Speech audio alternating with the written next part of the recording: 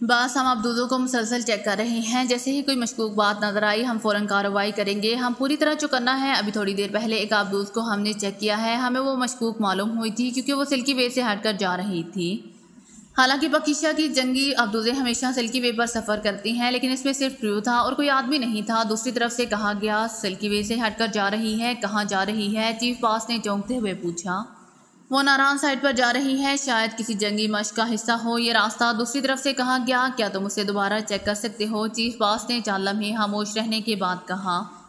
दोबारा नहीं बास, वो हमारी रेस रेंज से निकल चुकी हैं। अलबत्त हम उसे सी विश के ज़रिए अब दोबारा चेक कर सकते हैं, लेकिन सी फ़िश बहरहाल सामने आ जाएगी और इस तरह पाकिशिया की जंगी मशीनरी उससे वाकिफ़ हो जाएगी। दूसरी तरफ़ से कहा गया? तुम उसे चेक करो, अगर वो मशकूक नज़र आए तो उड़ा देना, वरना खामोशी से वापस आ जाना। सिर्फ़ फ़िश पाकिशिया ने देखी तो एक तरफ़ आज तक उसके मुतलिक सुना नहीं होगा, इसलिए वो अगर क्या आराइयाँ करते ही रहें, तब भी कोई मसला नहीं, चीफ बास ने कहा। बास हम उसे अच्छी तरह चेक कर चुके हैं, उसका फ़ोटो सीरियल भी हमारे पास मौजूद है, उसमें सिर्फ़ एक क्रू है, सिर्फ़ फ़िश को सामने ले आने के लिए हमें अक्रीमिया की आला हुकाम से खसूसी इजाज़त हासिल करनी होगी, और आप जानते हैं कि ऐसा होना मुमकिन नहीं, दूसरी तरफ़ से कहा गया। किसने इजाज़त देनी है। चीफ बास ने पूछा, ज्वाइंट एडमिरल और नेल्सन दूसरी तरफ़ से कहा गया? और फिर तो कोई मसला नहीं, फ़ोन पर इससे बात करो और हल्का मौत का कोड उसे कहो। इजाज़त मिल जाएगी। चीफ बास ने कहा, ठीक है बास। दूसरी तरफ़ से जवाब दिया गया, क्या तुम सीफिश से होने वाली चेकिंग को हेडक्वार्टर लिंक कर सकते हो? मैं बजाते हो उसे देखना चाहता हूँ, क्योंकि आम रास्ते हट कर जाने वाली साबदोस्त के मुतलिक में हादसा मशकूक हूँ। चीफ बास ने कहा ये स्पास सी फ़िश में ऐसी मशीनरी मौजूद है कि मैं चेकिंग को लिंक कर सकता हूँ। दूसरी तरफ़ से कहा गया तो ठीक है, जल्दी करो, मैं पूरी तरह मुतमिन होना चाहता हूँ चीफ बास ने कहा। ये स्पास में इजाज़त हासिल करके सी फ़िश को हरकत में लेकर आता हूँ। जैसे ही सी फ़िश हरकत में आए लिंक हो जाएगा। सेंटर से जवाब दिया गया और चीफ बास ने बोलने की बजाय सर हिला दिया। उसकी छठी हिस्स बता रही थी कि आम रास्ते से हटकर जाने वाली ये आप दोस्त हासी मशकूक हैं। गो से यकीन था किसी मास्टर सेंटर ने उसे तरह चेक किया होगा, लेकिन फिर भी उसके जहन में खलबली मची हुई थी। मशीन की स्क्रीन अब साफ़ थी और चीफ बास की नज़रें उसी साफ़ स्क्रीन पर जमी हुई थी। और थोड़ी देर बाद मशीन से दोबारा टू टू की आवाज़ें सुनाई दी और इसके साथ ही स्क्रीन पर धमाके से नज़र आने लगे। चीफ पास चौंक कर सीधा हो गया और फिर स्क्रीन पर समंदर का अंदरूनी मंजर नज़र आने लगा और फिर एक हल्के से धमाके से एक खौफनाक किस्म की आबदोज नज़र आने लगी। यह दोस्त बिल्कुल वहेल मछली की शक्ल जैसी थी, उसका रंग जिसामत और अंदाज बिल्कुल वेल मछली जैसा था। उसे खसूसी तौर पर इस अंदाज में तैयार किया गया था कि करीब से देखने के बावजूद उसे पहचाना ना जा सके और यही समझा जाए कि वो आम सी वहेल मछली है। जब सी फ़िश के अंदर ऐसी जदीद तरीन मशीनरी मौजूद थी कि वो आबदूजों और बड़े बड़े जंगी जहाज़ों को देखते ही तबाह कर सकती थी। ये क्रीमिया की एक ऐसा खुफिया हथियार था, जिसकी हवा भी दूसरी दुनिया को ना लगने दी गई थी। लेकिन चीफ पाल जानता था कि ज्वाइंट एडमिरल आर नेल्सन हल्के मोड का कोर्स सुनते ही इजाज़त देने पर मजबूर हो जाएगा। क्योंकि वो हल्का मौत का मेंबर था और सीफिश को हरकत में देखते ही चीफ बास के लबों पर मुस्कुराहट फैल गई, क्योंकि उसकी हरकत में आने का मतलब ही यही था कि ज्वाइंट एडमिरल ने हल्का मौत से वफादारी का इजहार करते हुए खुफिया तरीन हथियार को हरकत में ले आने की इजाज़त दे दी है। बास से फ़िश हरकत में आ चुकी हैं, आप उससे हेडक्वार्टर से चेक कर रहे होंगे। मशीन से सेंटर की आवाज़ सुनाई दी यस मैं देख रहा हूँ। इजाज़त मिलने में कोई परेशानी तो पैदा नहीं हुई। चीफ बास ने कहा, नहीं बास, दूसरी तरफ़ से कहा गया और चीफ बास ने मुतमिन अंदाज में सर हिला दिया। सी फ़िश इंतहाई तेज़ रफ्तारी से समंदर में सफ़र कर रही थी। वो मछलियों की तरह ऊपर सतह पर जाती और पानी का ज़बरदस्त फवारा छोड़कर फिर गोता लगाती और सफ़र शुरू कर देती। बास वो आबदोज अब रेंज में आ गई है। सेंटर इंचार्ज की आवाज़ सुनाई दी। उसी लम्हे आबदोज तेज़ी से सफ़र करती आगे बढ़ी चली जा रही थी। चीफ पास ने देखा कि समंदर की तय में एक जदीद किस्म की आबदोस है। इसे चेक करो। चीफ पास ने कहा, अभी नज़दीक पहुँचने पर चेक करूँगा। दूसरी तरफ़ से कहा गया और चीफ पास खामोश हो गया। सी फ़िश की रफ्तार बेहद तेज थी और फिर आप दोस्त के करीब पहुंचकर वो यकलहत ऊपर को तरफ़ उठती चली गई। सतह समंदर पर पहुंचकर उसने पानी का एक ज़बरदस्त फुआरा छोड़ा और फिर गोता लगाकर वो तेज़ी से समंदर की तह में उतरी और सीधी आप दोस्त की तरफ़ बढ़ती गई। अब वो आप दोस्त के बिल्कुल करीब पहुँच चुकी थी। उसी लम्हे स्क्रीन पर एक ज़ोरदार धमाका हुआ और स्क्रीन पर से सी फ़िश और आप दोस्त दोनों गायब हो गए। बास पूरी तरह चौंका, लेकिन दूसरे लम्हे स्क्रीन पर एक मंजर उभर आया। ये आप दोस्त का अंदरूनी मंजर था। पहले मशीन रूम का मंजर उभरा, वहाँ वाकई क्रियो काम कर रहा था। फिर आबदूस के दूसरे हिस्सों का मंजर स्क्रीन पर आ रहा सी फ़िश जिस तरह आबदूस के गिर्द घूम रही थी, वैसे ही मुख्तलिफ़ हिस्सों के मंजर ऊपर रहे थे और चार लम्हों बाद एक बड़े कमरे का मंजर सामने आया, जहाँ एक औरत और छह मर्द कुर्सियों पर बैठे एक दूसरे से बातें कर रहे थे। ये सब आबदूस के क्रियो के मखसूस वर्दियों में थे। ओ इमरान मौजूद है, बास वो दाएँ तरफ़ तीसरी कुर्सी पर है। आपके भेजे हुए फ़ोटो के मुताबिक सेंटर इंचार्ज की चीखती हुई आवाज़ सुनाई दी और अब चीफ बास ने भी उससे पहचान लिया था। उल्टा दो, इस आप दोस्त को तबाह कर दो। फ़ौरन देखा, मैंने कहा था, उड़ा दो चीफ बास ने चीखते हुए कहा, और उसी लम्हे उसने इमरान और उसके साथ बैठे हुए अफराद को बुरी तरह चौंकते देखा, और उसके साथ ही मशीन से गूंज की तेज़ आवाज़ पैदा हुई, और फिर स्क्रीन पर यकलहत धमाके से दिखाई देने लगे। मुख्तलिफ़ रंगों की आड़ी तिरछी लहरें सी स्क्रीन पर कूद रही थीं, और चीफ बास खामोश बैठा होन काट रहा था। उसके साथ ही एक खौफनाक धमाका हुआ, और फिर स्क्रीन स्पाट हो गई, और बास सी फैश का हमला नाकाम रहा है, ये खसूसी आप दोस्त हैं। इसके लिए सियानिक रेस का हसार कायम कर दिया गया है। अब इस पर सिर्फ़ एटमी मिसाइल काम दे सकता है और चेकिंग रेस भी अब खत्म हो गई है। सेंटर इंचार्ज की आवाज़ सुनाई दी। ओ तो एटमी मिसाइल फायर करो, जल्दी चीफ बास ने चीखते हुए कहा। सॉरी बास, एटॉमिक मिसाइल ऑटोमेटिक सील होते हैं। वो सिर्फ़ जंगी हेडक्वार्टर से जंग की सूरत में कंप्यूटर के ज़रिए ओपन किए जा सकते हैं। हम उन्हें फायर नहीं किए जा सकते। सेंटर इंचार्ज ने विवाद से लहजे में जवाब देते हुए कहा। और तो अभी आप दोस्त कैसे तबाह होगी? चीफ बास ने बुरी तरह झंझराए हुए लहजे में कहा, बास, अब तो सिर्फ़ इसका ताकुब हो सकता है। अलबत्त जहाँ ये लोग बाहर निकलेंगे, उन्हें सियानिक रेत का हसार हटाना पड़ेगा। उस वक्त इस आप दोस्त को तबाह किया जा सकता है या इन लोगों को मारा जा सकता है, सेंटर इंचार्ज ने कहा।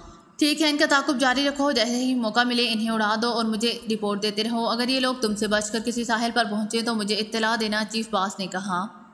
ठीक है सर, वैसे मेरा अंदाज़ा है कि जिस रास्ते से ये आबदूस जा रही है, ये नारान की जनूबी साहिल पर पहुंचेगी। सेंटर इंचार्ज ने जवाब दिया, नारान का जनूबी साहिल, ठीक है, मैं नारान में हल्के मौत के सेंटर को होशियार कर देता हूँ, वो जनूबी साहिल पर पहुँच जाएँगे, चीफ बास ने कहा। और फिर उसने हाथ बढ़ाकर मशीन का बटन दबा दिया और तेज़ी से नाव घुमानी शुरू कर दी। चंद लम्हों बाद उसने एक और बटन दबाया तो स्क्रीन पर एक शाम के मुँह जैसे नौजवान की आवाज़ सुनाई दी। यस नारायण सेंटर से चीफ अरुणा बोल रहा हूँ। Super grand chief from headquarter, chief पास ने इंतहाई तहकुमाना लहजे में कहा ये सर ये सर ये सर। चीफ आरूना बुरी तरह बुखलाए हुए लहजे में जवाब देते हुए कहा, उसके चेहरे पर शदीद तरीन बुखलाहट के आसार नमोदार हो गए थे। शायद सुपर ग्रैंड चीफ ने उससे पहली बार बरह रास्त रबता किया था। सुनो, नारायण के जनूबी साहिल पर एक आबदोस के ज़रिए एक औरत और छह मर्द पाकिशिया पहुँचे हैं। उन्हें हेडक्वार्टर से मौत की सजा दी जा चुकी है। तुम पूरी टीम लेकर वहाँ पहुँच जाओ। और जैसे ही ये लोग वहाँ पहुँचे, उन्हें गोलियों से उड़ा दो। इनमें से एक भी ज़िंदा बचकर नहीं जाना चाहिए। चीफ बास ने कड़कदार लहजे में कहा ये बास, हुक्म की तामील होगी बास। उनकी शनाख्त वगैरह, सर चीफ अरुणा ने झचकते हुए लहजे में कहा।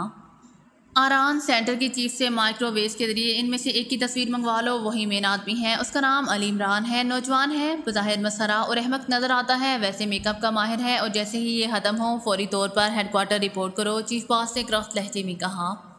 यस बास चीफ अरुणा ने जवाब दिया और चीफ बास ने बटन दबाकर रबता ख़त्म कर दिया। इमरान लॉन्ग रूम में बैठे अपने साथियों के साथ गपशप में मसरूफ था कि अचानक आबदोस का तोज़न खराब होने लग गया। यूँ लग रहा था जैसे आबदोस किसी भवन में फंस गई हो। इमरान एक झटके से उठा और फिर तेज़ी से मशीन रूम की तरफ़ बढ़ गया। क्या हुआ कैप्टन आसिफ क्या हुआ? इमरान ने तेज़ लहजे में पूछा, कुछ नहीं सर एक वेल मछली कहीं से आ निकली है। उसकी वजह से पानी में हलचल हुई है। कैप्टन आसिफ ने मुस्कुराते हुए कहा, उसी लम्हे इमरान की नज़रें स्क्रीन पर पड़ी।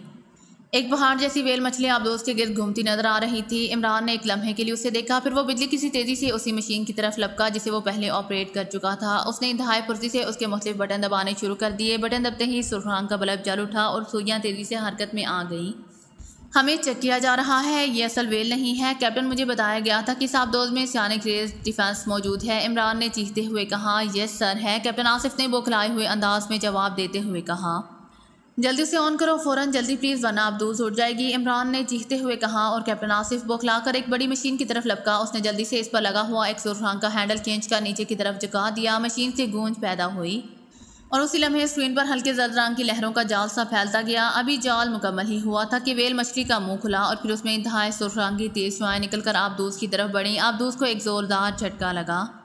लेकिन जैसे ही ये सुरखान की शुआएँ जर्द लहरों से टकराई, जोरदार झमाके हुए और उसी लम्हे वेल मछली तेज़ी से ऊपर की तरफ़ उठती चली गई और स्क्रीन से गायब हो गई, ये सब क्या है? ये वेल मछली कैसी है? कैप्टन आसिफ ने हैरत भरे लहजे में कहा।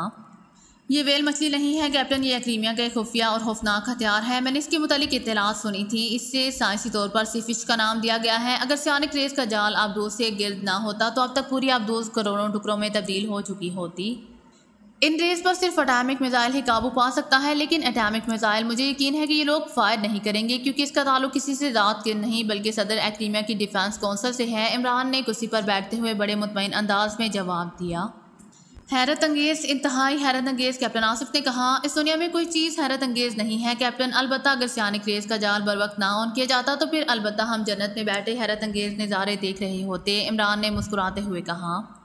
और कैप्टन आसिफ सिर्फ़ भीगी हिंसी हंस कर रह गया। उसी लम्हे वेल मछली दोबारा नज़र आई, लेकिन अब वो सिर्फ़ आबदूस का पीछा कर रही थी। हम इस पर फायरिंग करें, कैप्टन आसिफ ने इमरान से मुहातिब होकर कहा।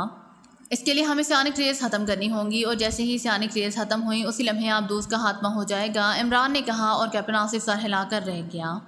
मगर इमरान साहब, अब इससे पीछा कैसे छुड़ाया जाए? अब हम सारी उम्र तो इस आबदोस में नहीं रह सकते। सब्जा ने पहली बार बात करते हुए कहा, पहले साहिल पर पहुँच जाएँ, फिर कोई तरीका सोचेंगे, इमरान ने कहा।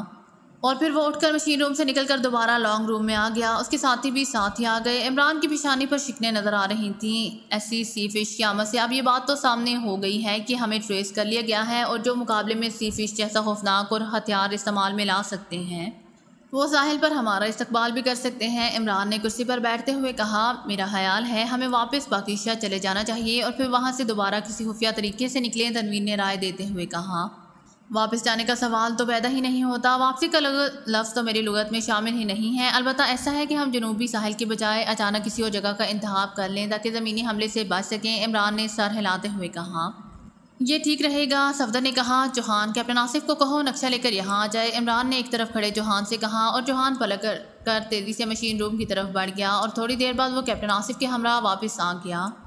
ये सर कैप्टन आसिफ ने कहा, उसके हाथ में रोल किया हुआ नक्शा मौजूद था। आओ बैठो, अब हमें कोई नई मंजिल तलाश करनी होगी। इमरान ने उसके हाथ से नक्शा लेते हुए कहा और कैप्टन आसिफ साथ वाली कुर्सी पर बैठ गया और उसने नक्शा खोलकर मेज़ पर बिछा दिया। इमरान समेत सब साथी नक्शे पर झुक गए। ये नारान का जनूबी साहिल है। इमरान ने नक्शे पर एक तरफ़ उंगली रखते हुए कहा यह सर यही है। कैप्टन आसिफ ने जवाब दिया। इमरान चार लम्हे गौर से उसे देखता रहा। इधर और कोई साहिल ही नहीं है, इमरान ने कहा। इमरान साहब, ऐसा हो सकता है कि हम साहिल के करीब खामोशी से समंदर में उतर जाएँ और फिर वहाँ से तैरते हुए दूर कहीं निकल जाएँ। आप दोस्त, इस वक्त तक पानी ही अंदर ही रहेगी। जब तक हम उसे महफूज जगह पहुँचने का क्वेश्चन ना दे दें, कैप्टन शकील ने तजवीज़ पेश करते हुए कहा, सर, मेरी एक तजवीज़ है। साहिल से थोड़ी दूर, पहले समंदर के अंदर एक बहुत बड़ी चट्टान है। इस चट्टान के अंदर एक कुदरती सुरंग नुमा सुराख मौजूद है। इस सुरंग के ज़रिए आप किसी की नज़रों में आए बगैर अचानक साहिल तक पहुँच सकते हैं। क्योंकि इस चट्टान की दूसरी तरफ़ छोटी छोटी ऐसी बेशुमार चट्टानें साहिल तक फैली हुई हैं, जिनमें आसानी से छुप कर आगे बढ़ा जा सकता है। कैप्टन आसिफ ने कहा ओ वेरी गुड, ये सबसे अच्छी तजवीज़ है। अगर वहाँ पर कोई नज़र भी आया तो हम वहाँ से दूर जाकर निकल सकते हैं, इमरान ने सर हिलाते हुए कहा। फिर आप तैयार हो जाएँ, हम ज़्यादा से ज़्यादा आधे घंटे बाद साहिल के करीब पहुँच जाएँगे, कैप्टन आसिफ ने नक्शा रोल करके रखते हुए कहा। लेकिन बाहर निकलते वक्त सियानी क्रेज तो बहरहाल ख़त्म हो ही जाएँगी, तनवीर ने कहा। हाँ लेकिन हम अचानक ऐसा कर देंगे, कैप्टन आसिफ ने कहा। बहरहाल हमें होशियार रहना होगा। तुम आप दोस्त को यूँ झटके से रोकना जैसे आप दोस्त में कोई खराबी पैदा हो गई हो। इमरान ने कैप्टन आसिफ से कहा और कैप्टन आसिफ सर हिलाता हुआ वापस मशीन रूम की तरफ़ बढ़ गया। और इमरान उन सबको लेकर इस तरफ़ चल पड़ा जहाँ उनका सामान और गोताखोरी के जदीद तरीन लबास मौजूद थे। ये खासा बड़ा कमरा था। उनका सामान वाटर प्रूफ थैलों में पैक शुदा थे। वो खास सामान था जो इमरान ने बड़ी दौड़ धूप के बाद मुहैया किया था। इन सबने गोताखोरी का जदीद तरीन लिबास पहना, अपने अपने थैले पुछ से लटकाए और फिर जदीद तरीन वाटर गन संभाल कर वो सब इमरान की रहनुमाई में चलते हुए आबदूस के इस हिस्से की तरफ़ बढ़ गए, जहाँ से खुफिया रास्ता समंदर के अंदर उतरने के लिए बनाया गया था। आप लोग तैयार हो गए हैं, हम इस सुराख वाली चट्टान के करीब पहुँचने वाले हैं। अचानक माइक से कैप्टन आसिफ की आवाज़, गूंजी, क्या सीफिश अभी तक ताकुब में मौजूद है? इमरान ने पूछा हाँ वो मुसलसल ताकुब में है, कैप्टन आसिफ की आवाज़ सुनाई दी। ये चेक करो कि वो कितनी देर के बाद समंदर की तह पर जा सकती है और फिर वहाँ कितनी देर रहती है। इमरान ने पूछा, इस जगह की दीवार में मौजूद खुफिया माइक के ज़रिए उसकी आवाज़ मशीन रूम में पहुँच रही थी और इमरान जानता था कि कैप्टन शकील उन्हें भी स्क्रीन पर देख रहा होगा। मैंने चेक किया है सर, वो हर पंद्रह मिनट बाद सतह समंदर पर जाती है और वहाँ से पाँच मिनट बाद उसकी वापसी होती है। कैप्टन ने जवाब दिया, ओके, जैसे ही वो ऊपर की तरफ़ रवाना हो, तुम रास्ता खोल कर हमें क्वेश्चन दे देना। हम पाँच मिनट के अंदर बाहर पहुँच जाएँगे। तुम सी फ़िश की वापसी से पहले पहले रास्ता बंद करके सियानिक रेज ऑन कर देना और फिर इसी तरह आगे बढ़ते चले जाना। कम से कम आधा घंटा मजीद सफ़र करने के बाद तुमने वापस पलटना है। इमरान ने उसे हदायत देते हुए कहा, ठीक है सर, ऐसा ही होगा कैप्टन आसिफ ने जवाब दिया। सुनो खुफिया, रास्ता खुलते ही हमने तेज़ी से बाहर कूद जाना है और जिस कदर जल्द मुमकिन हो सके चटान की सुराह में दाखिल हो जाना है। मामूली सी देर भी जानलेवा साबित हो सकती है, इमरान ने समझाते हुए कहा और सबने इस बात में सर हिला दिए। चंद लम्हों बाद रिसीवर से कैप्टन आसिफ की आवाज़ सुनाई दी। होशियार, मैं रास्ता खोल रहा हूँ। कैप्टन आसिफ का लहजा हादसा तेज़ था और इन सबने जल्दी से अपने अपने सिलेंडर वगैरह सेट कर लिए। उसी लम्हे आबदूस के फर्श का एक हिस्सा तेज़ी से एक तरफ़ खिसकता चला गया और पानी तूफ़ानी रफ्तार से ऊपर आने लगा, लेकिन आबदूस की अंदरूनी हवा के मखसूस दबाव ने उसे पूरी तरह अंदर आने से बाज रखा। जैसे ही हाना खुला, इमरान ने नीचे छलांग लगा दी और तेज़ी से आगे की तरफ़ तैरता गया। जबकि उसके पीछे पीछे यके बाद दिगरे बाकी मेंबर्स भी कूद गए। आप दोस्त उसी रफ्तार से चल रही थी। समंदर में मौजूद वो बड़ी सी चट्टान के करीब नज़र आ रही थी। चट्टान तय से ऊपर सतह की तरफ़ चली गई थी और साइड पर एक बड़ा सा सुराख नज़र आ रहा था, जिसमें पानी भरा हुआ था। इमरान समंदर में कूदते ही बिल्ली किसी तेज़ी से उसके सुराग में दाखिल हो गया। खुले समंदर की तय में होने की वजह से उसके जिसम पर बेपनाह दबाव पड़ गया था। उसे यूँ महसूस होने लगा था जैसे उसका जिसम गोश्त किसी शिकंजे में जकड़ कर दबा दिया गया हो। लेकिन चटान के दरवाजे में दाखिल होते ही इस कैफियत में खासी कमी आ गई थी। उसके साथी भी तेज़ी से सुराख में दाखिल हो गए। सुराख इस कदर चौड़ा था कि वो सब बैक वक्त इसमें इकट्ठे तैर सकते थे। सबसे आखिर में चौहान अंदर दाखिल हुआ था। आबदूस काफ़ी आगे निकल कर गई थी, लेकिन जैसे ही चौहान अंदर दाखिल हुआ, पानी में ज़बरदस्त हलचल पैदा हुई और फिर इंतहाई तेज़ रफ्तारी से चलती हुई सीफिश इस चटान के अंदर मौजूद सुराख के सामने से गुजरती चली गई और सीफिश के गोते की वजह से पानी में ज़बरदस्त हलचल पैदा हुई। लेकिन इस हलचल का इमरान और उसके साथियों को बड़ा फ़ायदा पहुँचा। पानी ने सुराख के अंदर ज़बरदस्त दबाव डाला तो वो सब यूँ साइड में ऊपर की तरफ़ जाते हुए सुराख में धकेले चले गए, जैसे तोप की नाल से गोला निकलकर ऊपर की तरफ़ जाता है, क्योंकि वैसे पानी की मौजूदगी से ऊपर चढ़ने में हासी जदोजहद करनी पड़ती। ये सुरंगनुमा सुराख खासा तवील था और इस सुराख के अंदर इसमें गुप अंधेरा सा था। जब पानी का दबाव ख़त्म हुआ और उनके जिसम सबले तो इमरान ने माथे पर फिट टार्च रोशन कर दी और उसकी देखा देखी बाकी सबने भी अपनी अपनी टार्चें रोशन कर दी। और अब अंधेरे में हाँसी रोशनी हो चुकी थी।